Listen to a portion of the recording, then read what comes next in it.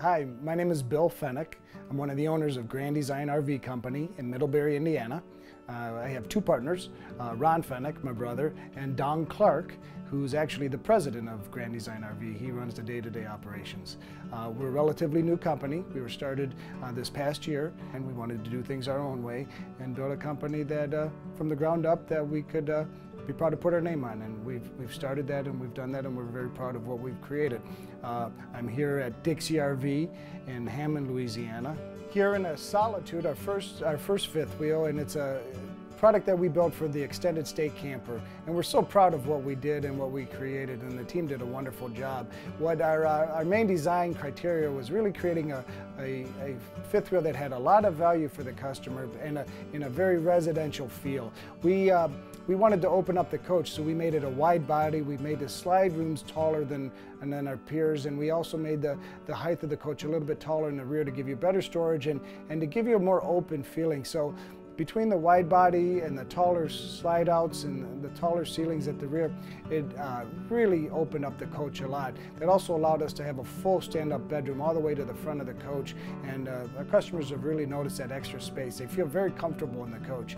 Um, from there, we really paid attention to the details and some of the key features and there's so many things to talk about and you want to visit our website uh, at granddesignrv.com to see all the things we're doing. But a few of the key things we've done differently is we have a huge pantry in this coach. Um, really, nobody else we've seen out there has a pantry the size that we have, and it just is something that's so overlooked as far as storage space. And, and women seem, seem to love, uh, love what we're doing with that, and, and we're proud of that. And um, we have a pull-out desk. We have residential features throughout. The, the, decor is very appealing. We, we, people just say it's very comfortable. It feels like home. It doesn't feel like an RV, and that's probably the biggest testimonial we could say is it feels like home. Um, the best storage, second to none out there in the, in the industry anywhere in our category for, for storage space. But how we use the space, all the way up into the bedroom, how we use the space and had a pull-out ottoman at the foot of the bed.